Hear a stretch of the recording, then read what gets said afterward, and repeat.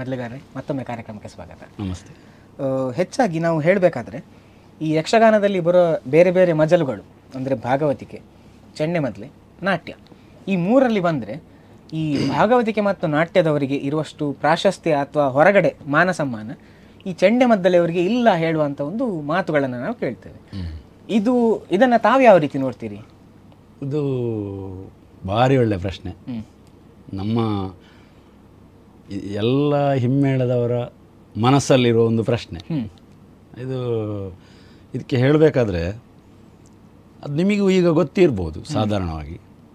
ಈಗ ಭಾಗವತಿಗೆ ವೇಷದವರಿಗೆ ಎಲ್ಲ ಸಣ್ಣ ಸಣ್ಣ ಕಲಾವಿದರು ಅಂದರೆ ಅವರಲ್ಲಿ ಪ್ರತಿಭೆ ಇರ್ತದೆ. ಪ್ರತಿಭೆ ಇಲ್ಲದೆ ಯಾರು ಸನ್ಮಾನ ಮಾಡೋದಿಲ್ಲ.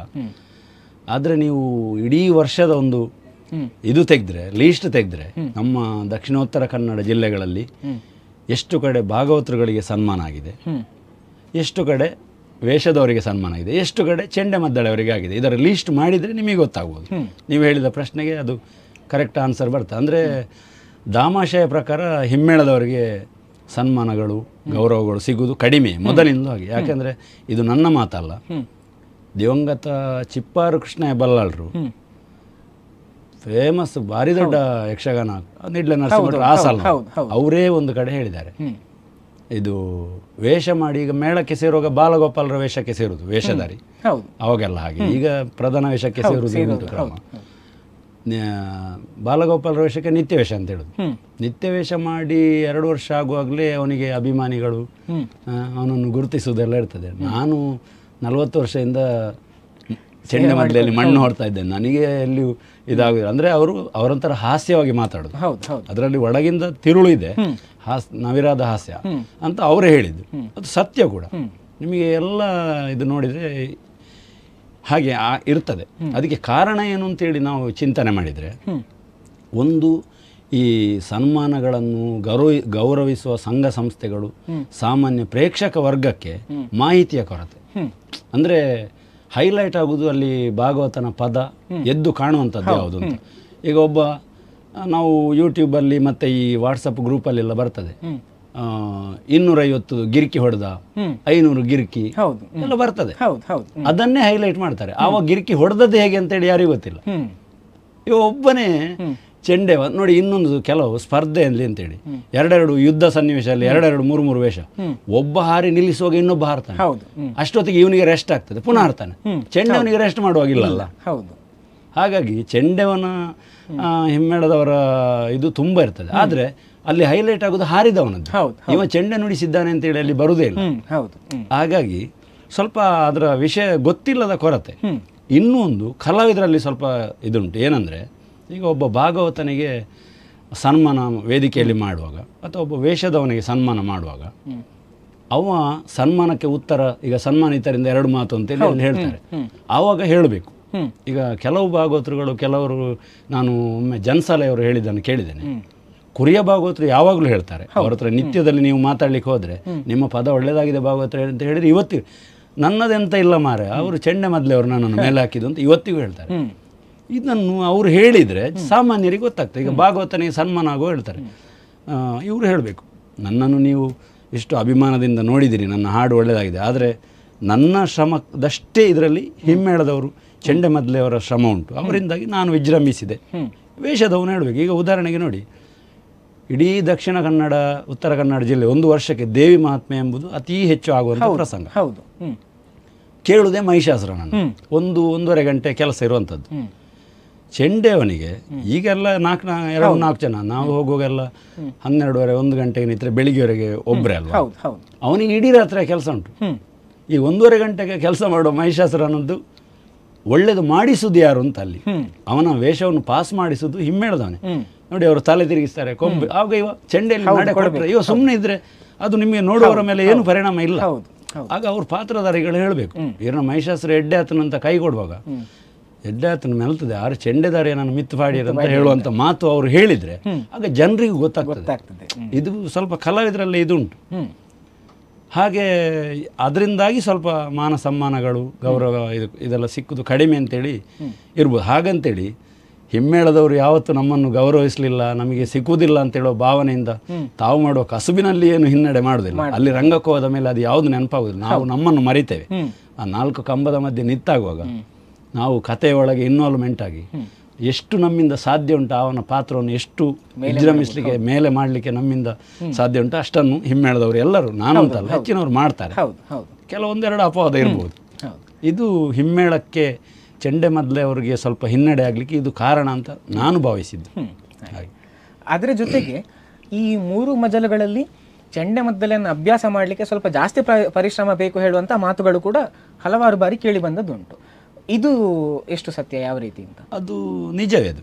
ಯಾಕೆ ಅಂತ ಹೇಳಿದರೆ ಒಂದು ನೀವು ಯೋಚಿಸಬೇಕಾದ್ದು ಏನು ಅಂತ ಹೇಳಿದರೆ ಈಗ ಶಾಲೆ ಕಾಲೇಜುಗಳಲ್ಲಿ ಯಕ್ಷಗಾನ ಆಗ್ತದೆ ಮಕ್ಕಳಿಂದ ಟ್ರೈನಿಂಗ್ ಕೊಟ್ಟು. ಸಂಘ ಸಂಸ್ಥೆಗಳಲ್ಲಿ ಆಗ್ತದೆ. ಅಲ್ಲಿ ಏನು ಮಾಡ್ತಾರೆ ಒಂದು ಪ್ರಸಂಗ ನಿರ್ಣಯ ಮಾಡಿ ಒಬ್ಬನಿಗೆ ಕೃಷ್ಣ ಒಬ್ಬನಿಗೆ ರಾಕ್ಷಸ ಬಲ ಹೀಗೆ ಮಾಡಿ ಅವನಿಗೆ ಏನು ಬೇಕು ಅದನ್ನು ಕಲಿಸಿ ಯಕ್ಷಗಾನ ಪ್ರದರ್ಶನ ಒಳ್ಳೆಯದಾಗ್ತದೆ ನೀವು ಒಂದು ಚೆಂಡೆ ಮದ್ಲವನನ್ನು ಹಾಗೆ ಮಾಡಿಸ್ಲಿಕ್ಕೆ ಆಗ್ತದಾ? ಒಂದೇ ತಾಳವನ್ನು ಕಲಿಸಿ ನೀವು ವೇದಿಕೆಗೆ ಹತ್ತಿಸ್ಲಿಕ್ಕೆ ಆಗ್ತದ? ಅಥವಾ ಒಂದು ಪ್ರದರ್ಶನಕ್ಕೋಸ್ಕರ ಒಂದು ಚೆಂಡೆ ಮದ್ಲೆಯನ್ನು ಕಲಿತು ಮಾಡ್ಲಿಕ್ಕೆ ಆಗ್ತದೆ? ಎಲ್ಲಿಯಾದ್ರೂ ನೋಡಿದಿರಾ ಅದರಲ್ಲಿ ಅದಕ್ಕೆ ಉತ್ತರ ಉಂಟು. ಚೆಂಡೆ ಮೊದಲೇ ಕಲಿಸ್ ಕಲಿಯುವುದು ಕಷ್ಟ. ಅದಕ್ಕೆ ಹೆಚ್ಚಿನ ಅಭ್ಯಾಸ ಬೇಕು ಅಂತ. ಇಲ್ಲರ ಸಮಾನ ಅಂತಾದ್ರೆ ಇದ್ರ ಹಾಗೆ ಅದು ಕೂಡ ಆಗಬೇಕಿತ್ತಲ್ಲ? ನಿಮ್ಮ ಒಂದು ವೇಷಕ್ಕೆ ನಾನು ಒಂದು ಚೆಂಡೆ ಒಬ್ಬ ಬಡದದ್ದು ಬಡದದ್ದುಂಟ ಇನ್ನೊಂದು ವಿಷಯ. ಚೆಂಡೆ ಮದ್ದಳೆಯವನಿಗೆ ಸಂಪೂರ್ಣ ಅದು ಒಂದನೇ ಕಾಲ ಎರಡನೇ ಕಾಲ ಮೂರನೇ ಕಾಲ ನಾಲ್ಕನೇ ಕಾಲ ಅಂತ ಕಲಿಯುವ ಒಂದು ವಿಧಾನ ಉಂಟು. ಆ ನಾಲ್ಕನೇ ಹಂತದ ತ್ವರಿತಗತಿಯ ನಡೆ ಕೈಗೆ ಬಾರದೆ ರಂಗಪ್ರವೇಶ ಮಾಡಲಿಕ್ಕೆ ಆಗುದಿಲ್ಲ. ಈಗ ವೇಷದವನಿಗಾದ್ರೆ ತಾಳಜ್ಞಾನ ಇದ್ರೆ ವೇಗವಾಗಿ ತಾಳವನ್ನು ಕೊಡುವಾಗ ಅದರ ಹಿಂದಿನ ಇದನ್ನು ನುಡಿ ನಡೆಯನ್ನು ಕುಣಿಯಲಿಕ್ಕೆ ಆಗ್ತದೆ. ಚೆಂಡೆ ಮೊದಲವರಿಗೆ ಆಗುದಿಲ್ಲ. ಅದು ಅಷ್ಟೇ ಬರಬೇಕಲ್ಲಿ ಇಷ್ಟೇ ಲೆಕ್ಕಾಚಾರ ಅಂತ ಇರ್ತದೆ. ಹಾಗಾಗಿ ಅದಕ್ಕೆ ದೀರ್ಘಾವಧಿ ತಗೊಳ್ತದೆ. ಅದನ್ನು ಅಭ್ಯಾಸ ಮಾಡಲಿಕ್ಕೆ ದೀರ್ಘಾವಧಿ ತಗೊಳ್ತದೆ. ಹಾಗಾಗಿ ಚೆಂಡೆ ಮದ್ಲೆಯನ್ನು ಕಲಿಯುವುದು ಅಂತ ಹೇಳಿದರೆ ಅದೊಂದು ತಪಸ್ಸೆ ಅದು. ಅದು ಅದಕ್ಕೆ ದೀರ್ಘಾವಧಿಯ ಶ್ರಮ ಬೇಕು. ನೋಡಿ ಮತ್ತೆ ಇನ್ನೊಂದು ವಿಷಯ ಹೇಳ್ತೇನೆ. ವೇಷದಲ್ಲಿ ಮತ್ತು ಭಾಗವತಿಗೆಯಲ್ಲಿ ಅವರಿಗೆ ಯಾವುದಾದ್ರೂ ಒಂದು ಅಂಗ ಇದ್ರೆ ಅವರು ವಿಜೃಂಭಿಸ್ತಾರೆ. ಈಗ ಉದಾಹರಣೆಗೆ ಭಾಗವತರಲ್ಲಿ ನೋಡಿ ಕೆಲವು ಭಾಗವತರಿಗೆ ಒಳ್ಳೆ ಕಂಠ ಇರ್ತದೆ. ಒಳ್ಳೆ ಸ್ವರ.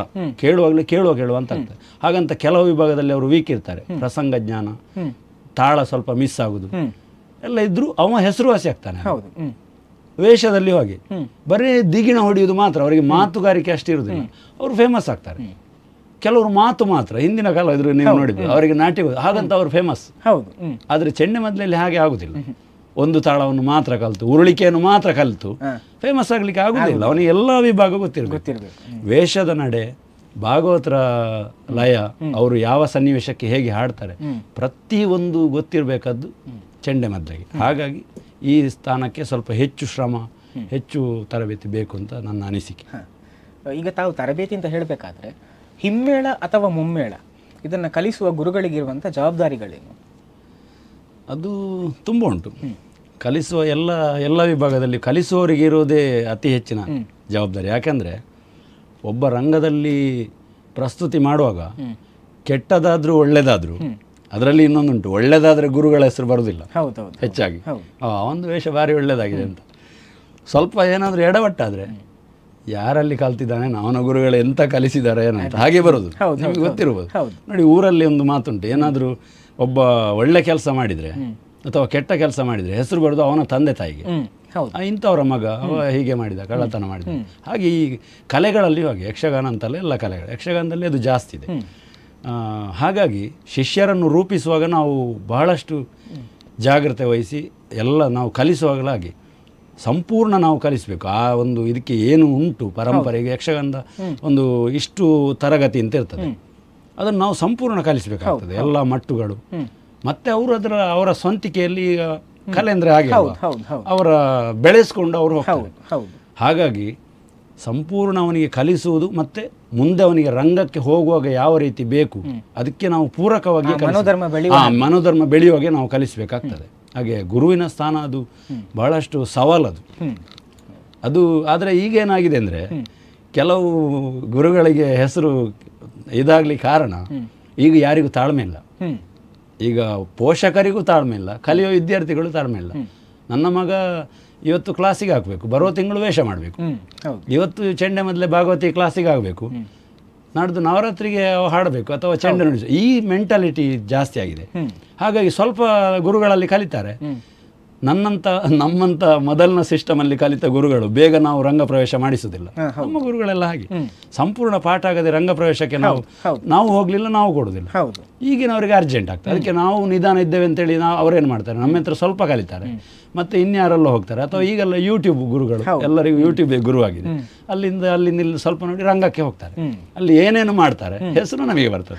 ಕಲಿಸಿದ ಗುರುಗಳು. ಈಗೂ ಆಗುದುಂಟು. ಏನು ಮಾಡ್ಲಿಕ್ಕೆ ಆಗುದಿಲ್ಲ ಕಾಲದ ಮಹಿಮೆ. ಕಾಲದ ಮಹಿಮೆ ಅಷ್ಟೇ. ಹೌದು ಆ, ಇನ್ನೊಂದು ಕಡೆಯಲ್ಲಿ ಯಕ್ಷಗಾನ ಅಂತ ಹೇಳುವಂಥದ್ದು ಚೌಕಟ್ಟು ಮೀರದೆ ಬೆಳೆಯಬೇಕು ಹೇಳುವಂಥದ್ದು ಬಹಳ ಹಿರಿಯ ಕಲಾವಿದರ ಮಾತುಗಳಲ್ಲಿ ನಾವು ಕೇಳಿದ್ದೇವೆ. ಈಗಿನ ಈ ಹೊಸ ಕಸರತ್ತುಗಳು ಅಂತ ನಾವೇನು ಹೇಳ್ತೇವೆ ರಂಗಸ್ಥಳದಲ್ಲಿ ಇದರಿಂದಾಗಿ ಯಕ್ಷಗಾನಕ್ಕೆ ಏನಾದರೂ ಅಪಾಯ ಇದ್ದ ಹಾಗೆ ನಮಗೆ ಕಾಣ್ತದೆ ಹೇಗೆ ಅಂತ? ಇದು ಹೇಳಬೇಕಾದ್ರೆ ಒಂದು ಮಾತುಂಟಲ್ಲ ಬದಲಾವಣೆ ಜಗದ ನಿಯಮ. ಬದಲಾವಣೆ ಎಲ್ಲದರಲ್ಲಿ ಉಂಟು. ಯಕ್ಷಗಾನ ಅಂತಲ್ಲ. ನೀವು ಹಳೆಯ ಸಿನಿಮಾವನ್ನು ನೋಡಿದ್ರೆ ಈಗಿನ ಸಿನಿಮಾವನ್ನು ನೋಡಿದ್ರೆ ಎಷ್ಟು ವ್ಯತ್ಯಾಸ ಆಗಿದೆ? ಹೌದು. ನಾಟಕ ಪ್ರತಿಯೊಂದರಲ್ಲಿ ಭರತನಾಟ್ಯದಲ್ಲಿ ಇರ್ಬೋದು ಸಂಗೀತ ಅಲ್ಲ ಹಾಗೆ ಯಕ್ಷಗಾನದಲ್ಲಿಯೂ ಆಗಿದೆ. ಈಗ ಗಿಮಿಕ್ಸ್ಗಳು ಇದೆಲ್ಲ ಬಂದದ್ರಿಂದ ಯಕ್ಷಗಾನ ಎಂಬ ಆ ಒಂದು ಕಲೆಗೆ ಅದು ಸರಿಯಲ್ಲ ಅಂತ ಆದರೂ ಯಕ್ಷಗಾನ ಕಲಾವಿದರಿಗೆ ಮತ್ತು ಯಕ್ಷಗಾನದ ಪ್ರದರ್ಶನದ ದೃಷ್ಟಿಯಿಂದ ಅದು ಒಳ್ಳೆಯದಾಗಿದೆ. ಈಗ ಗಿಮಿಕ್ಸ್ಗಳೆಲ್ಲ ಇಲ್ಲದೆ ಇರ್ತಿದ್ರೆ ಇಷ್ಟು ಪ್ರದರ್ಶನಗಳು ಆಗ್ತಿರಲಿಲ್ಲ. ಯಾಕಂದರೆ ಹೊಸ ಹೊಸ ಪೀಳಿಗೆಯ ಹೊಸತನ್ನು ಬಯಸುವ ಪ್ರೇಕ್ಷಕರಿಗೆ ಇಂಥದ್ದೊಂದೊಂದು ಡೋಸ್ ಕೊಟ್ಟ ಕಾರಣ ಅವರು ಅದನ್ನು ನೋಡಲಿಕ್ಕೆ ಬರ್ತಾರೆ. ಬರ್ತಾರೆ.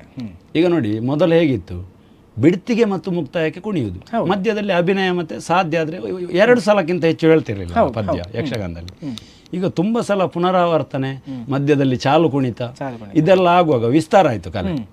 ಇದನ್ನು ಇದರಲ್ಲೇ ಕೆಲವು ಕಲಾವಿದರು ಪಳಗಲಿಕ್ಕೆ ಆರಂಭ ಆದರು ಕೆಲವೊಂದು ಕಲಾವಿದರು. ಆಗ ಅದು ಕಾರ್ಯಕ್ರಮ ಅಂಥವ ಕಲಾವಿದರನ್ನೇ ಅದಕ್ಕೋಸ್ಕರ ಪ್ರಸಂಗ ಇಡುವುದು ಎಲ್ಲ ಆರಂಭ ಆಯ್ತು. ಈಗ ಒಬ್ಬ ಒಳ್ಳೆ ಕುಣಿಯುವ ಕಲಾವಿದ ಇದ್ರೆ ಅವನನ್ನು ಕರೆಸಬೇಕು. ಹಾಗಾದ್ರೆ ಏನು ಮಾಡಬೇಕು? ಅಂತ ಪಾತ್ರ ಬರು. ಒಂದು ಪ್ರಸಂಗ ಇಡಬೇಕು. ಆಗ ಅಂತ ಅಭಿಮಾನಿಗಳು ಪ್ರದರ್ಶನಕ್ಕೆ ನಮಗೆ ಅವಕಾಶ ಕೊಡಲಿಕ್ಕೆ. ಹಾಗೆ ಈ ಗಿಮಿಕ್ಸ್ಗಳು ಬಂದದ್ರಿಂದ ಪ್ರದರ್ಶನಗಳ ಸಂಖ್ಯೆ ಹೆಚ್ಚಾಗ್ತದೆ. ಕಲಾವಿದನಿಗೂ ಆರ್ಥಿಕವಾಗಿ ಪ್ರಯೋಜನ ಆಗ್ತದೆ. ಆದರೆ ಕಲೆಗೆ ಅದು ಬೇಕಾ ಬೇಡೋ ಅಂತ ಹೇಳೋದು ಅದು ಊಟಕ್ಕೆ ಉಪ್ಪಿನಕಾಯಿ ಇದ್ದಷ್ಟು ಇದ್ರೆ ಒಳ್ಳೇದು ಅಂತ ಕಲೆಯ ದೃಷ್ಟಿಯಿಂದ ಅದು ಒಳ್ಳೇದು. ಅದು ಹೆಚ್ಚು ಸಿನಿಮೀಯವಾಗಿ ಕುಣಿಯುವುದು ಮತ್ತೆ ಅರ್ಥದ ಗಾರಿಗಳಲ್ಲಿ ಹಾಗೆ ಅರ್ಥದಲ್ಲಿ ಹಾಗೆ. ಈಗಿನ ಹೊಸ ರಾಜಕೀಯದ ವಿಷಯ ಅದು ಇದೆಲ್ಲ ಬೆರೆಸಿ ಮಾತಾಡೋದು. ಅದು ಕಲೆ ಸೊರಗ್ತದೆ. ಆದರೆ ಹಾಗೆ ಮಾತಾಡುವವನಿಗೆ ಡಿಮ್ಯಾಂಡ್ ಬರ್ತದೆ. ಹೌದು. ಅವನಿಗೆ ಹೆಚ್ಚು ಕಾರ್ಯಕ್ರಮ ಸಿಗ್ತದೆ. ವಿಷಯ ಇರೋದಷ್ಟೇ. ಇದನ್ನು ನಾವು ಪ್ರೇಕ್ಷಕರಾದವರು. ಯೋಚನೆ ಮಾಡಿ ಅದಕ್ಕೆ ಉತ್ತರ ಅಲ್ಲೇ ಸಿಗ್ತದೆ. ಹಾಗಾಗಿ ಕಲೆ ಕಲೆಯನ್ನು ಉಳಿಸುವುದಕ್ಕೂ ಟ್ರೆಂಡ್ಗೂ ವ್ಯತ್ಯಾಸ. ವ್ಯತ್ಯಾಸ. ಕಲೆ ಬೇರೆ ಇದು ಬೇರೆ ಈಗ ನೋಡಿ ಕೆಲವು ಒಂದೊಂದು ಕ್ಲಿಪ್ಪಿಂಗ್ಸ್ಗೆ ಐದು ಲಕ್ಷ ಹತ್ತು ಲಕ್ಷ ವ್ಯೂವರ್ಸ್ ಅಂತ ಹೇಳ್ತಾರೆ. ಅದು ಬರುದು ಯಾವುದಕ್ಕೆ? ಈ ಹೊಸತನ ಮಾಡಿದ್ದಕ್ಕೆ. ನೀವು ಹಳತ್ತಿಗೆ ಅಷ್ಟು ವ್ಯೂವರ್ಸ್ ಬರುದಿಲ್ಲ. ಅದು ನನಗೆ ಸ್ವಂತ ಅನುಭವ ಉಂಟು. ಈಗ ವಾಟ್ಸಪ್ ಗ್ರೂಪ್ಗಳಲ್ಲಿ ಫೇಸ್ಬುಕ್ಕಲ್ಲಿ ಕಲೆ ಹಾಳಾಯಿತು ಹಾಗಾಯಿತು ಹೀಗಾಯಿತು ಅಂತ ಈ ಹೊಸತನ್ನು ಬರುವ ಇದಕ್ಕೆ ಕಮೆಂಟ್ಗಳು ಬರ್ತದೆ. ಹಾಗಂತೇಳಿ ಆ ಪರಂಪರೆಯನ್ನು ಒಪ್ಪುವ ಪ್ರೇಕ್ಷಕ ವರ್ಗ ಅವರು ಪರಂಪರೆಯದ್ದೇ ಕಾರ್ಯಕ್ರಮ ಮಾಡಿಸುವುದು ಬೆರಳೆಣಿಕೆಯವರು. ಅವರು ಕಾರ್ಯಕ್ರಮ ಮಾಡಿಸುವುದಿಲ್ಲ. ಕಾಮೆಂಟ್ ಬರೀತಾರೆ. ಇದೇ ಈ ಹೊಸ ತನ್ನು ಬಯಸುವ ಪ್ರೇಕ್ಷಕರಿದ್ದಾರಲ್ಲ ಗಿಮಿಕ್ಸ್ಗಳನ್ನು ಅಂಥವರಲ್ಲಿ ಕಾರ್ಯಕ್ರಮವನ್ನು ಮಾಡಿಸುವವರು ಜಾಸ್ತಿ ಇದ್ದಾರೆ. ಹೌದು. ಇದು ನಾನು ಕಂಡ ಸತ್ಯ. ಈಗ ನಾವೇ ಭಾಗವಹಿಸಲಿಕ್ಕೆ ಹೋಗ್ತೇವೆ. ಈಗ ನಾವು ಪರಂಪರೆಯ ಇದಕ್ಕೂ ಹೋಗ್ತೇವೆ. ಈಚೆದ್ದಕ್ಕೂ ಹೋಗ್ತೇವೆ. ನಮಗೆ ಅಲ್ಲೇ ಗೊತ್ತಾಗ್ತದೆ. ಹೌದು. ಹಾಗೆ ಎರಡೂ ರೀತಿಯ ಇದು ಉಂಟು ತಾವೀಗ ಸಂಘಟನೆಯ ಬಗ್ಗೆ ಹೇಳಿದ್ರಿಂದ ಕೇಳ್ತಿದ್ದೇನೆ. ತಾವು ಯಕ್ಷಗಾನದಲ್ಲಿ ಸಂಘಟಕರಾಗಿ ಕೂಡ ಒಂದು ಮಟ್ಟಿಗೆ ಹೆಸರನ್ನು ಮಾಡಿದವರು. ಅಂದ್ರೆ ಬೇರೆ ಬೇರೆ ಕೃತಿ ಬಿಡುಗಡೆ ಇರ್ಬೋದು ಅಥವಾ ಕಾರ್ಯಕ್ರಮಗಳಿರ್ಬೋದು. ಈಗ ತಾವಾಗಲೇ ಹೇಳಿದ ಹಾಗೆ ತಾವು ಕಲಿತದ್ದು ಹರಿನಾರಾಯಣ ಭಯಪಟ್ಟಿದ್ದಾರಲ್ಲಿ. ಅವರ ಶಿಷ್ಯವರ್ಗೆಲ್ಲ ಸೇರಿಕೊಂಡು ಮಾಡುವಂಥ ಹರಿಲೀಲದಲ್ಲಿ ಕೂಡ ತಾವು ಪ್ರಮುಖ ಪಾತ್ರವನ್ನು ವಹಿಸಿದವರು. ಈಗ ಇದು ಪ್ರತಿ ವರ್ಷ ಆಗಿಕೊಂಡು ಬರ್ತಾ ಇದೆ. ಹಾಗಾಗಿ ಯಕ್ಷಗಾನದಲ್ಲಿ ಸಂಘಟಕರಾಗಿ ಒಂದು ಮುಂದುವರಿಬೇಕು ಅಂತ ನಮಗೆ ಹೇಗೆ ಕಂಡಿತು? ಅದು ಸಂಘಟನೆ ಅಂತ ಹೇಳಿದ್ರೆ ಕೆಲವು ಸಲ ಅನಿವಾರ್ಯಕ್ಕೆ ನಾವು ಆಗುವಂಥದ್ದು. ಅದುವೇ ಮತ್ತೆ ಮುಂದುವರಿದೆ ಮತ್ತೆ ಇನ್ನೊಂದು ಏನು ಅಂತ ಕೇಳಿದರೆ ಯಕ್ಷಗಾನ ಯಾವುದೇ ಯಕ್ಷಗಾನ ಇರಲಿ ಯಾವುದೇ ಕಲೆ ಇರಲಿ ಈಗ ನಾವು ಒಂದು ಒಂದನ್ನು ವಿದ್ಯೆಯನ್ನು ಆರ್ಜಿಸಿಕೊಂಡು ಅದರಿಂದ ಪ್ರಯೋಜನವನ್ನು ಪಡೆದ ಮೇಲೆ ಈಗ ಆರ್ಥಿಕ ಪ್ರಯೋಜನ ಸ್ಥಾನಮಾನ ಗೌರವ ಎಲ್ಲವನ್ನು ಕಲಾವಿದನಾದವ ಪಡಿತಾನೆ. ಪಡೆದೇ ಪಡಿತಾನೆ. ಹೇಳುವಾಗ ಹೇಳ್ತೇವೆ ನಾನು ಆ ಕಲಾವಿದ ಅಷ್ಟು ವರ್ಷ ಸೇವೆ ಮಾಡಿದ. ಅದು ಸುಮ್ಮನೆ ಹೇಳುವಂಥದ್ದು. ಸೇವೆ ಅಲ್ಲವ ಹಣ? ಸೇವೆ ಅಂತ ಹೇಳಿದ್ರೆ ಹಣ ತಗೊಳ್ಳದೆ ಮಾಡುವಂಥದ್ದಕ್ಕೆ ಇದ್ದದ್ದು ಮೊದಲು. ಈಗ ಹಣ ತಕೊಂಡು ಮಾಡೋದಕ್ಕೂ ಸೇವೆ ಅಂತ ಹೇಳ್ತಾರೆ. ಹ್ಮ್. ನಾವು ಒಂದು ಏನೋ ಒಂದು ಪ್ರಯೋಜನ ಪಡೆದ ಮೇಲೆ ಆ ಕಲೆಗೆ ನಮ್ಮಿಂದ ಏನಾದರೂ ನಾವು ಕೊಡಬೇಕು. ಹಾಗಾಗಿ ಈಗ ನೋಡಿ ಒಂದು ಬಾಳೆಯ ಗಿಡ ನೋಡಿ ನೀವು. ಒಂದು ಬಾಳೆ ಗಿಡ ನಾವು ಚೆನ್ನಾಗಿ ಬೆಳೆಸಿದರೆ ಅದು ಗೊನೆ ಹಾಕ್ತದೆ ಅದು ಗೊನೆ ಹಾಕುವಾಗ ಅದರ ಬುಡದಲ್ಲಿ ಇನ್ನೊಂದು ಬಾಳೆಯ ಒಂದು ಇದನ್ನು ಅದು ಬಿಟ್ಟು ಕೊಡ್ತದೆ. ಹೌದು. ಹೌದು. ಅಂದರೆ ಆ ಬಾಳೆಗೊನೆ ಬೆಳೆಯುವಾಗ ಈ ಬಾಳೆಯನ್ನೇ ಕಟ್ ಮಾಡಿ ತೆಗಿತಾರೆ. ಆದರೆ ಅದರ ಸಂತಾನಲ್ಲಿ ಉತ್ಪತ್ತಿಯಾಗಿ ಮುಂದೆ ಬಾಳೆ ಇದಾಗ್ತದೆ. ಹಾಗೆ ನಾವು ಕಲಾವಿದರಾದವರು ನಾವು ಅದರಿಂದ ಪ್ರಯೋಜನ ಪಡೆದು ನಿವೃತ್ತಿ ಆಗುವ ಮೊದಲೇ ನಾವು ಕಲೆಗೆ ಏನಾದರೂ ಕೊಡಬೇಕು. ಈಗ ನಮ್ಮಾಗೆ ತರಗತಿಯನ್ನು ಕೊಟ್ಟು ಶಿಷ್ಯರನ್ನು ಬೆಳೆಸೋದು ಆಗ್ಬೋದು. ಅಥವಾ ನೀವು ಹೇಳಿದಾಗ ಸಂಘಟನೆ. ಈಗ ಎಷ್ಟೋ ಕಾರ್ಯಕ್ರಮಗಳ ಸಂಘಟನೆ ಮಾಡಿದ್ದೇನೆ. ಮತ್ತು ಕೆಲವರು ಪುಸ್ತಕ ಸಂಸ್ಮರಣ ಗ್ರಂಥ ಬರೆಯುವಾಗ ಅದಕ್ಕೆ ಲೇಖನ ಮಾಡಿದ್ದೇನೆ. ಹಾಗೆ ಅದು ಏನೋ ಕೊಡಬೇಕು ಅಂತ ಮನಸ್ಸಿತ್ತು. ಹಾಗೆ ಮತ್ತೆ ಹರಿಲಿಲ್ಲ ಎಂಬುದು ಅದು ನನ್ನೊಂದು ಕನಸು. ನಮ್ಮ ಗುರುಗಳ ಹೆಸರಲ್ಲಿ ಗುರು ದಂಪತಿ ಹೆಸರಲ್ಲಿ ಏನಾದರೂ ಒಂದು ದೊಡ್ಡ ಒಂದು ಕಾರ್ಯಕ್ರಮ ಮಾಡಬೇಕು ಅವರಿಗೆ ಅಂತ ನನಗೊಂದು ತುಂಬ ವರ್ಷದಿಂದ ಕನಸಿತ್ತು. ನಮ್ಮ ಅವರ ಶಿಷ್ಯ ವಲಯದಲ್ಲಿ ನಾನು ಹೇಳ್ಕೊಳ್ತಾ ಇದ್ದೆ. ನಾವೊಂದು ದೊಡ್ಡ ಕಾರ್ಯಕ್ರಮ ಮಾಡಿ ಒಂದು ಮಾಡಬೇಕು ಅಂತ. ಅದಕ್ಕೆ ಸಮಯ ಒದಗಿ ಬಂದದ್ದು ಯಾವಾಗ ಕೇಳಿದರೆ ಗುರುಗಳಿಗೆ ಎಪ್ಪತ್ತೈದು ವರ್ಷ ಆಗುವಾಗ ಇದನ್ನು ಅವರ ಮಗ ಅವಿನಾಶಣ್ಣನಲ್ಲಿ ಹೇಳಿದ್ದೆ ನಾನು. ಹೀಗೊಂದು ಮಾಡಬೇಕು ಅಂತ. ಅವರು ಎಪ್ಪತ್ತೈದನೇ ವರ್ಷ ಹತ್ರ ಬರುವಾಗ ಹೇಳಿದ್ರು. ನೀವು ಆವತ್ತೊಂದು ಹೇಳಿದ್ರಲ್ಲ. ಮಾಡುದಿದ್ರೆ ಈಗ ಸರಿಯಾದ ಸಮಯ. ಎಪ್ಪತ್ತೈದು ವರ್ಷ ಅಮ್ಮನಿಗೂ ಅಪ್ಪನಿಗೂ ಅಂದ್ರೆ ಅದು. ಕೆಲವರಿಗೆ ಜಿಜ್ಞಾಸೆ ಉಂಟು. ಗಂಡ ಹೆಂಡತಿಗೆ ಇಬ್ಬರಿಗೂ ಎಪ್ಪತ್ತೈದು ವರ್ಷ ಹೇಗೆ ಅಂತ. ಅದು ಅವಾಗ ನಾವು ಅದನ್ನು ಹೇಳಿದ್ದೇವೆ. ಅದು ಅವರು ಆರು ತಿಂಗಳ ವ್ಯತ್ಯಾಸದಲ್ಲಿ ಇರುವಂತದ್ದು ಅವರ ಪ್ರಾಯ. ಹಾಗಾಗಿ ಇಬ್ಬರಿಗೂ ಎಪ್ಪತ್ತೈದು ವರ್ಷ. ಇವಾಗಲೇ ಮಾಡೋದಿದ್ರೆ ಮಾಡುವ ಅಂತ ಅವ್ರು ಹೇಳಿದ್ದು ನನಗೊಂದು ಗ್ಲುಕೋಸ್ ಕೊಟ್ಟಾಗ ಆಯಿತು. ನಾನು ಕಾಯ್ತಾ ಇದ್ದೆ ಇದನ್ನು ಮಾಡಿ ನಾನು ಎಲ್ಲ ನಮ್ಮ ಶಿಷ್ಯರು ಅವರ ಕೈಯಿಂದ ವರ್ಷಾನುಗಟ್ಲೆಯಿಂದ ಕಲಿತು ದೊಡ್ಡ ದೊಡ್ಡ ಕಲಾವಿದರು ರಂಗದಲ್ಲಿರುವವರು ರಂಗದಿಂದ ಹೊರಗೆ ಹವ್ಯಾಸಿಗಳು ಎಲ್ಲರನ್ನು ಒಗ್ಗೂಡಿಸಿ ಎಲ್ಲೆಲ್ಲಿಯೂ ತುಂಬ ನಾನು ಅದಕ್ಕೆ ಎಫರ್ಟ್ ಹಾಕಿದ್ದೇನೆ. ಎರಡು ತಿಂಗಳು ಮನೆಯ ಕೆಲಸ ಎಲ್ಲ ಬಿಟ್ಟಿದ್ದೇನೆ. ಅಂದರೆ ಇವರನ್ನು ಒಗ್ಗೂಡಿಸಬೇಕಾದ್ರೆ ಕೆಲವರು ಎಲ್ಲೆಲ್ಲೂ ಇರ್ತಾರೆ ಯಾವುದ್ಯಾವುದು ಅವರ ನಂಬರ್ಗಳನ್ನು ಕಲೆಕ್ಟ್ ಮಾಡಿ ಹರಿಲೀಲ ಶಿಷ್ಯ ವೃಂದ ಅಂತ ವಾಟ್ಸಪ್ ಗ್ರೂಪ್ ಮಾಡಿ ಒಂದೆಡೆ ಅವರು ಸೇರಬೇಕಲ್ಲ ಮತ್ತು ಅದಕ್ಕೆ ತುಂಬ ಸಹಕಾರ ಬಂತು ನಮಗೆ. ಅದೊಂದು ಯಶಸ್ವಿ ಕಾರ್ಯಕ್ರಮ ಆಯಿತು. ನಭೂತೋ ನ ಭವಿಷ್ಯತಿ. ದೊಡ್ಡ ದೊಡ್ಡವರು ಗೆಸ್ಟ್ಗಳನ್ನೆಲ್ಲ ಕರೆದು ನಾವೊಂದು ದೊಡ್ಡ ಮೊತ್ತವನ್ನು ಕೂಡ ಗುರುಗಳಿಗೆ ಅದರಲ್ಲಿ ಸಮರ್ಪಣೆ ಮಾಡಿದ್ದೇವೆ. ಹಾಗೆ ಅದೊಂದು ಆಗಿ ಹೋಯಿತು. ಅದಕ್ಕೂ ಸಹ ಗುರುಗಳದ್ದೇ ಅನುಗ್ರಹ ಅಂತೇಳಿ ನಾವು ಭಾವಿಸ್ತೇವೆ ಅಷ್ಟೇ. ಹೌದು. ತಾವೀಗ ಹೇಳಬೇಕು ಅಂತಾದರೆ ಗುರುಗಳು ಯಾವ ರೀತಿ ನಮಗೆ ಜೀವನದಲ್ಲಿ ಮುಖ್ಯವೋ ಅದೇ ರೀತಿ ನಮ್ಮ ಮನೆಯಲ್ಲಿ ತಂದೆ ತಾಯಿ ಅಥವಾ ನಮ್ಮ ಮನೆಯಲ್ಲಿರುವಂಥ ಹಿರಿಯರು ಕೂಡ ಅಷ್ಟೇ ಮುಖ್ಯ. ನಿಮ್ಮ ತಂದೆ ಹಾಗೂ ನಿಮ್ಮ ತಾತ ತಾವು ಸಣ್ಣ ವಯಸ್ಸಿನಲ್ಲಿರಬೇಕಾದ್ರೆ ಒಂದು ಯಕ್ಷಗಾನದ ಬಗ್ಗೆ ತಾವಾಗ ಹೇಳಿದಾಗ ಕಲಾವಿದರಲ್ಲದಿದ್ದರೂ ಕೂಡ ಪ್ರಜ್ಞಾವಂತ ಪ್ರೇಕ್ಷಕರಾಗಿದ್ದರಿಂದ ನಿಮಗೆ ಆ ಒಂದು ರಂಗ ಮಾಹಿತಿಯನ್ನೆಲ್ಲ ಪಡ್ಕೊಳ್ಳಿಕ್ಕೆ ಸುಲಭ ಆಯಿತು ಅಂತ ಹೇಳುವಂಥದ್ದನ್ನು ತಾವು ಇದಕ್ಕಿಂತ ಮುಂಚೆ ಕೂಡ ಬೇರೆ ಕಡೆಗಳಲ್ಲಿ ಹೇಳಿದವು. ಇವತ್ತಿನ ಕಾಲಘಟ್ಟಕ್ಕೆ ಒಬ್ಬ ಪ್ರಜ್ಞಾವಂತ ಪ್ರೇಕ್ಷಕನ ಅನಿವಾರ್ಯ ಹಾಗೂ ಅವಶ್ಯಕತೆ ನಮ್ಮ ಯಕ್ಷಗಾನ ಕಲೆಗೆ ಎಷ್ಟಿದೆ ಅಂತ? ಪ್ರಜ್ಞಾವಂತ ಪ್ರೇಕ್ಷಕರ ಅನಿವಾರ್ಯತೆ ತುಂಬ ಇದೆ.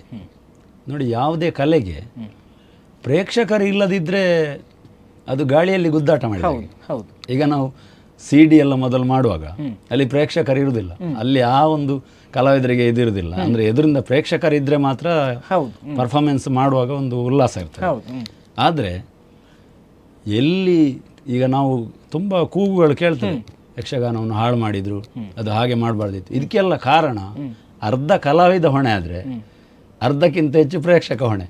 ಯಾಕೆ ಅಂತ ಹೇಳಿದ್ರೆ ನಾವು ಕಲಾವಿದರು ಒಂದು ಏನೋ ಒಂದು ಉಲ್ಲಾಸದಲ್ಲಿ ಅಲ್ಲಿ ತಪ್ಪು ಮಾತಾಡಿದರೆ ತಪ್ಪು ಕುಣಿದ್ರೆ ಅಲ್ಲಿ ಕೈ ಚಪ್ಪಾಳೆ ಶಿಲ್ಲೆ ಹಾಕಿ ಪ್ರೋತ್ಸಾಹಿಸುವುದು ಪ್ರೇಕ್ಷಕ. ಹೌದು. ಅವ ಅಲ್ಲಿ ಚಿ ಚಪ್ಪಾಳೆ ಹಾಕದೆ ಈಚೆಯಿಂದ ಬಂದು ಹೇಳಬೇಕು.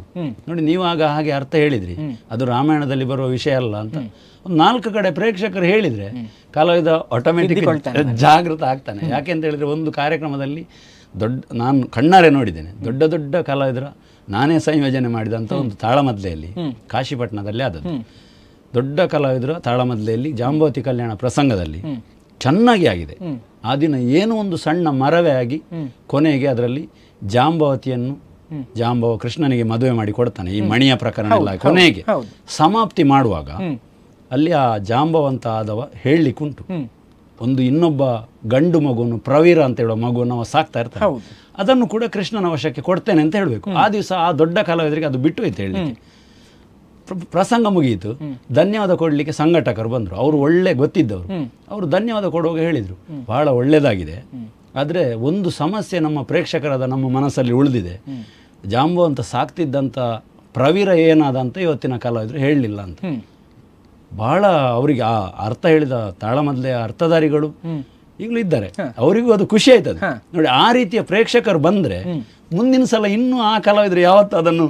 ಜಾಗ್ರತೆಯಲ್ಲಿ ಹೇಳ್ತಾರೆ. ಹೀಗೆ ಪ್ರೇಕ್ಷಕರದ್ದೇ ಬಹುಪಾಲು ಉಂಟು.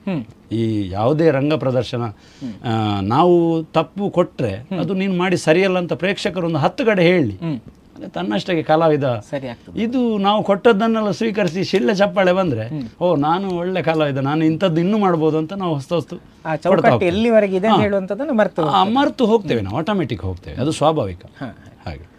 ಅದೇ ರೀತಿ ಈಗ ನಾವು ಈಗಿನ ಇನ್ನೊಂದು ತಾವಾಗ ಹೇಳಿದಂಗೆ ಟ್ರೆಂಡ್ ಅಂತ ಅಥವಾ ಈಗಿನ ಗಿಮಿಕ್ಗಳಲ್ಲಿ ಒಂದು ಅಂತ ಹೇಳಿದ್ರೆ ಕಾಲಕ್ಕೆ ಸರಿಯಾಗಿ ಕಾಲಮಿತಿ ಯಕ್ಷಗಾನ ಅಂತ. ಯಾಕಂದ್ರೆ ಹೆಚ್ಚಿನಾಗಿ ಯಾರು ಈಗ ಇಡೀ ರಾತ್ರಿ ಕೂತು ನೋಡುವಂಥ ಕಲಾವಿದರು ಇಲ್ಲ ಇದು ಪ್ರೇಕ್ಷಕರು ಇಲ್ಲ ಅದೇ ರೀತಿ ಕಲಾವಿದರಿಗೆ ಕೂಡ ಬೇರೆ ರೀತಿಯ ಉದ್ಯೋಗ ಎಲ್ಲ ಇರೋದ್ರಿಂದ ಕಾಲಮಿತಿಯನ್ನು ಈಗ ಎಲ್ಲರೂ ಕೂಡ ಒಗ್ಗಿಕೊಂಡಿದ್ದಾರೆ. ಆದರೆ ಈ ಕಾಲಮಿತಿಯಲ್ಲಿ ಹೊಸ ಕಲಾವಿದರಿಗೆ ಅಥವಾ ಹೊಸದಾಗಿ ಯಕ್ಷಗಾನವನ್ನು ನೋಡಿ ಕಲಿಯುವವರಿಗೆ ಕಲಿಯಬೇಕಾದಂಥ ಬಹಳ ಅಂಶಗಳು ಸಿಗುವುದಿಲ್ಲ ಹೇಳುವಂಥ ಒಂದು ಕಂಪ್ಲೇಂಟ್ ಇದೆ. ಇದ್ರ ಬಗ್ಗೆ ತಾವೇನು ಹೇಳ್ತೀವಿ ಅದು ನೂರಕ್ಕೆ ನೂರು. ಯಾಕಂದ್ರೆ ಮೊದಲೆಲ್ಲ ನಾವು ಸೇರುವಾಗ ಅದಕ್ಕಿಂತಲೂ ಹಿಂದೆ. ನಾವು ಹೊರಗೆ ಯಕ್ಷಗಾನವನ್ನು ಕಲಿತು ಬಂದರೆ ಅದೇ ಆಗ ಹೇಳಿದಾಗ ಅದು ಏನೂ ಸಾಕಾಗುವುದಿಲ್ಲ ರಂಗಕ್ಕೆ ಸಾಕಾಗುವುದಿಲ್ಲ ಇಲ್ಲಿಯೇ ನಾವು ನಿತ್ಯ ಮೇಳದಲ್ಲಿ ಇದ್ದುಕೊಂಡೇ ಕಲಿಯೋದು. ಪ್ರತಿದಿನ ರಂಗದಲ್ಲಿ ಇದು ಅವಾಗೆಲ್ಲ ನಿದ್ದೆ ಮಾಡಲಿಕ್ಕಿಲ್ಲ ನಮ್ಮ ಡ್ಯೂಟಿಯಾಗಿ ಬೆಳಿಗ್ಗೆವರೆಗೆ ಸಮಯ ಇದ್ರೂ ನಿದ್ದೆ ಮಾಡಲಿಕ್ಕಿಲ್ಲ ನಾವು ನೋಡ್ತಾ ಇರಬೇಕು. ಹೌದು. ಕಲೀಲಿಕ್ಕೆ ಅವಕಾಶ ಇತ್ತು. ಅಂದರೆ ಆ ಪ್ರಸಂಗ ಬೆಳಗಿನವರೆಗೆ ಆಗುವಾಗ ಅದರ ಪ್ರತಿಯೊಂದು ಸನ್ನಿವೇಶವನ್ನು ಎಲ್ಲ ಪದ್ಯಗಳನ್ನು ಕೊಟ್ಟು ಮಾಡಲಿಕ್ಕೆ ಸಣ್ಣ ಪುಟ್ಟ ವೇಷಗಳಿಗೆ ಎಲ್ಲರಿಗೆ ಅವಕಾಶ ಇತ್ತು. ಈಗ ಕಾಲಮಿತಿ ಬರುವಾಗ ಸಮಯಕ್ಕೆ ಹೊಂದಾಣಿಕೆ ಮಾಡುವಾಗ ಕೆಲವೊಂದು ಸನ್ನಿವೇಶ ಬಿಡಬೇಕು. ಎಲ್ಲ ಪದ್ಯಗಳ ಅಳವಡಿಕೆ ಆಗುವುದಿಲ್ಲ ಆಗ ಕಲೀಲಿಕ್ಕೆ ಅಲ್ಲಿ ಅವನಿಗೆ ಆಟೋಮೆಟಿಕ್ ಆಗಿ ಸಿಕ್ಕುದಿಲ್ಲ. ಹೊಸತಾಗಿ ಹೊಸತ್ತಾಗಿ ಎಂಟ್ರಿ ಆಗುವ ಕಲಾವಿದರಿಗೆ. ಅದು ಸಿಕ್ಕುವುದೇ ಇಲ್ಲ. ಪ್ರಸಂಗ ಬಟ್ಟಿ ಇಳಿಸಿ ಬಟ್ಟಿ ಇಳಿಸಿ ಪ್ರಧಾನ ಸನ್ನಿವೇಶಗಳು ಮಾತ್ರ ಸಿಗ್ತವೆ. ಹಾಗೆ ಕಾಲಮಿತಿಯಿಂದ ಕಲಿಯುವವರ ದೃಷ್ಟಿಯಲ್ಲಿ ಸ್ವಲ್ಪ ಅದಕ್ಕೆ ಮಾರಕ ಅಂತ ಹೇಳ್ತೇನೆ. ಆದರೆ ಬಾಕಿ ಈಗಿನ ಕಾಲದ ಮಟ್ಟಿಗೆ ಒಳ್ಳೆಯದು ಅದು ಒಳ್ಳೆ ಒಳ್ಳೇದು. ತಾವೀಗ ವೃತ್ತಿಪರ ಕಲಾವಿದರಾಗಿ ಕೂಡ ಇದ್ದವರು ಹಾಗಾಗಿ ಅದೇ ರೀತಿ ಈಗ ಹವ್ಯಾಸಿ ಕಲಾವಿದರಾಗಿ ಕೂಡ ಹೋಗುವವರು. ಇದೆರಡರ ಮಧ್ಯೆ ತಾವು ಕಾಣುವಂಥ ವ್ಯತ್ಯಾಸಗಳು ಒಬ್ಬ ಕಲಾವಿದನಾಗಿ ಒಬ್ಬ ಪ್ರೇಕ್ಷಕನಾಗಿ ತಾವು ಕಾಣುವಂಥ ಹವ್ಯಾಸಿ ಕಲಾವಿದ ಹಾಗೂ ವೃತ್ತಿಪರ ಕಲಾವಿದನಿಗೆ ಕಾಣುವಂಥ ವ್ಯತ್ಯಾಸಗಳೇನು? ಅದರಲ್ಲಿ ವ್ಯತ್ಯಾಸವು ಇದ್ದೇ ಇರ್ತದೆ. ವೃತ್ತಿಪರ ಕಲಾವಿದರಿಗೂ ಹವ್ಯಾಸ ಕಲಾವಿದರಿಗೂ ವ್ಯತ್ಯಾಸ ಅದು ಇದ್ದೇ ಇದೆ. ನಾವು ಎರಡರಲ್ಲಿ ಭಾಗವಹಿಸಿದವರು. ಈಗ ಮೇಳದ ವೃತ್ತಿಪರತೆ ಅಂತ ಹೇಳಿದರೆ ಅಲ್ಲಿ ಒಂದು ಅದಕ್ಕೊಂದು ಶಿಸ್ತು ಹೀಗೆ ಆಗಬೇಕು ಇಷ್ಟೇ ಸಮಯಕ್ಕೆ ಆರಂಭ ಇಷ್ಟೇ ಸಮಯಕ್ಕೆ ಮುಕ್ತಾಯ ಹೀಗೆಲ್ಲ ಇರ್ತದೆ. ಆದರೆ ಹವ್ಯಾಸಿ ಕಲಾವಿದರಲ್ಲಿ ನಾವು ಹೋಗುವಾಗ ಎಲ್ಲವನ್ನು ನಿರೀಕ್ಷೆ ಮಾಡಲಿಕ್ಕೆ ಆಗೋದಿಲ್ಲ. ಯಾಕಂದರೆ ಅವರು ವರ್ಷ ಪೂರ್ತಿ ಅದನ್ನು ಮಾಡುವವರಲ್ಲ. ಅವರೊಂದು ಹೌದು. ಅವರು ಒಂದು ಪ್ರಸಂಗಕ್ಕಾಗಿ ತಯಾರಾಗಿರ್ತಾರೆ. ಅಥವಾ ಬೇರೆಯವ್ರದ್ದು ನೋಡಿ ಕಲಿತಾರೆ ಅವರಿಗೆ ಯಾರೋ ಡೈರೆಕ್ಷನ್ ಮಾಡಿರ್ತಾರೆ. ಆಗ ಅವರೊಟ್ಟಿಗೆ ನಾವು ಈಗ ವೃತ್ತಿಪರತೆ ಅವರಾದರೂ ಅವರೊಟ್ಟಿಗೆ ಅವರಿಗೆ ಹಿಮ್ಮೇಳ ನುಡಿಸ್ಲಿಕ್ಕೆ ಹೋಗುವಾಗ ಅಲ್ಲಿ ಹೀಗೆ ಆಗಬೇಕು. ಕೆಲವೊಂದು ಹೇಳ್ತೇವೆ ನಾವು. ನೋಡಿ ಈ ಥರ ಉಂಟು. ಆಗ ಅವ್ರು ಹೇಳ್ತಾರೆ ನಮಗೆ ಹೀಗೆ ಹೇಳಿಕೊಟ್ಟಿದ್ದಾರೆ. ಅವರಿಗೆ ಯಾರೋ ಟ್ರೈನಿಂಗ್ ಮಾಡಿರ್ತಾರೆ ಆಗ ನಾವು ಸ್ವಲ್ಪ ಅಡ್ಜಸ್ಟ್ಮೆಂಟ್ ಮಾಡಬೇಕಾಗ್ತದೆ. ಆದರೆ ಇನ್ನೊಂದು ನಾನು ವಿಷಯ ನೋಡಿದಂದರೆ ಈ ಹವ್ಯಾಸಿಗಳಿಗೆ ಸ್ವಲ್ಪ ಕೆಲವು ಕಲಾವಿದರಿಗೆ ಒಳ್ಳೆ ಅದರ ಬಗ್ಗೆ ಶ್ರದ್ಧೆ ಇರ್ತದೆ. ನನ್ನದು ಎಲ್ಲಿ ತಪ್ಪಿ ಹೋಗ್ತದ ಅಂತೇಳಿ ತಯಾರು ತುಂಬ ಮಾಡಿಕೊಳ್ತಾರೆ. ಈ ಕೆಲವು ವೃತ್ತಿಪರ ಕಲಾವಿದರು ಏನು ಮಾಡ್ತಾರೆ ಅಂದರೆ ದಿನ ಆದದ್ದೇ ಆಗುದಲ್ವ ಅಂತೇಳಿ.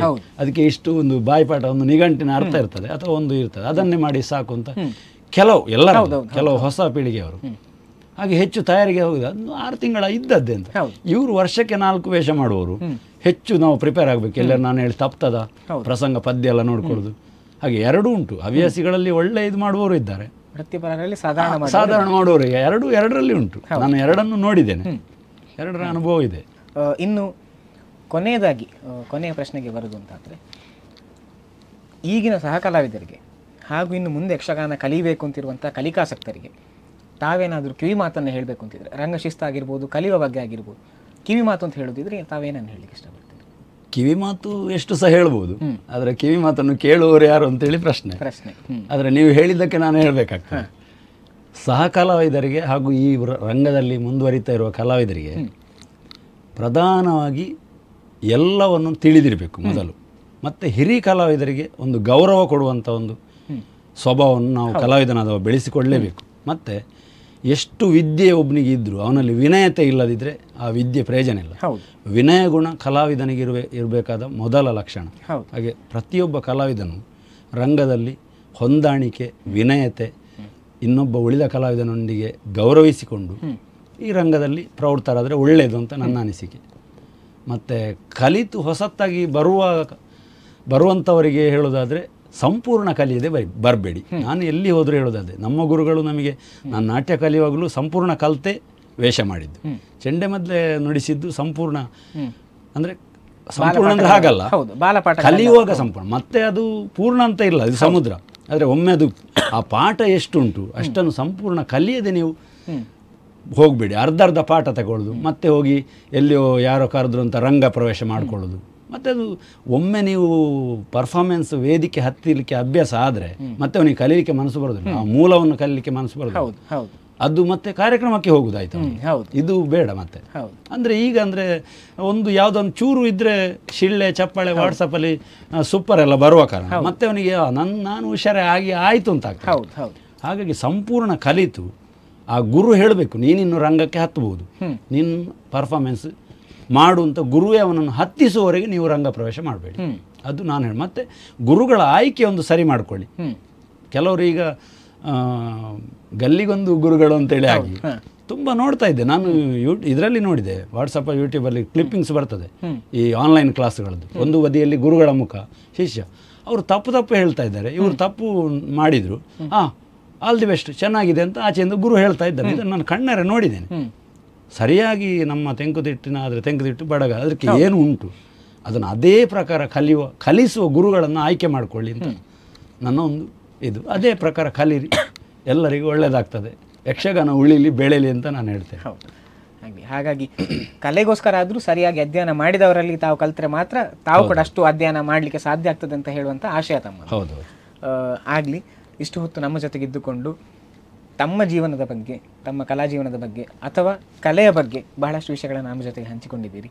ಇದನ್ನು ನೋಡುವಂಥ ಪ್ರೇಕ್ಷಕರಿಗೆ ಇದರಿಂದ ಅಷ್ಟೇ ಉಪಯೋಗ ಕೂಡ ಆಗ್ತದೆ ಹೇಳುವಂಥ ಒಂದು ಭಾವನೆ ನಮ್ಮದು. ಇಷ್ಟು ಹೊತ್ತು ತಮ್ಮ ಸಮಯವನ್ನು ನಮಗೆ ಮೀಸಲಿಟ್ಟು ನಮ್ಮ ಜೊತೆ ಇಷ್ಟೆಲ್ಲ ಮಾಹಿತಿಯನ್ನು ಹಂಚಿಕೊಂಡದಕ್ಕೆ ಧನ್ಯವಾದಗಳು. ನನ್ನನ್ನು ಕಿರಿಯ ಕಲಾವಿದನಾದ ನನ್ನನ್ನು ಆಹ್ವಾನಿಸಿ ಒಂದು ಅವಕಾಶ ಕೊಟ್ಟದ್ದಕ್ಕೆ ತಮ್ಮ ಈ ಚಾನೆಲ್ಗೂ ಕೂಡ ಧನ್ಯವಾದವನ್ನು ಸಮರ್ಪಿಸ್ತಾ ಇದ್ದೇನೆ. ತಾವೇ ಕಿರಿಯರು ಅಂತಾದರೆ ಇನ್ನು ಉಳಿದವರು ಹೇಗೆ ಅಂತ ನಮಗೆ ಗೊತ್ತಿಲ್ಲ. ಆದರೆ ಇಷ್ಟು ಹೊತ್ತು ನಮಗೆ ಇಲ್ಲಿ ಬಂದು ಬಹಳಷ್ಟು ರಂಗ ಮಾಹಿತಿಯನ್ನು ಕೂಡ ನಮ್ಮ ಜೊತೆಗೆ ಹಂಚಿಕೊಂಡಿದ್ದೀರಿ. ಹಾಗಾಗಿ ಅದಕ್ಕೆ ಮತ್ತೊಮ್ಮೆ ಧನ್ಯವಾದಗಳನ್ನು ಹೇಳ್ತಾ ನೋಡಿದ್ರಲ್ಲ ವೀಕ್ಷಕರೇ ಇಷ್ಟು ಹೊತ್ತು ನಮ್ಮ ಜೊತೆಗೆ ಚಂದ್ರಶೇಖರ್ ಭಟ್ ಕೊಂಕಣಾಜಿಯವರು ಇದ್ದುಕೊಂಡು ಬಹಳಷ್ಟು ತಮ್ಮ ಜೀವನದ ಬಗ್ಗೆ ಹಾಗೂ ಯಕ್ಷಗಾನ ಕಲೆಯ ಬಗ್ಗೆ, ಅದರ ಉಳಿವಿಗೆ ಯಾವ ರೀತಿಯೆಲ್ಲ ನಾವು ಶ್ರಮಿಸಬೇಕು ಹೇಳೋ ಬಗ್ಗೆ ನಮಗೆ ಬಹಳಷ್ಟು ಮಾಹಿತಿಯನ್ನು ಕೊಟ್ಟಿದ್ದಾರೆ. ಇದೇ ರೀತಿ ಬರುವ ಸಂಚಿಕೆಯಲ್ಲಿ ಮತ್ತೊಬ್ಬ ಕಲಾವಿದರ ಜೊತೆ ನಾನು ಸಿಗ್ತೇನೆ. ಅಲ್ಲಿ ತನಕ ನೋಡ್ತಾ ಇರಿ ಅಭಿಮತ ಟಿವಿ. ಇದು ಜನಮನದ ನಾಡಿಮಿಡಿತ.